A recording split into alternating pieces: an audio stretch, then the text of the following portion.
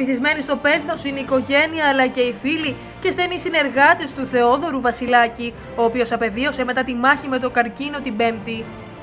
Ο Βασιλάκης έδωσε τη μάχη για περισσότερα από 10 χρόνια με ιδιαίτερη αξιοπρέπεια, χωρίς να γνωρίζουν οι άλλοι τις δυσκολίες που αντιμετωπίζει.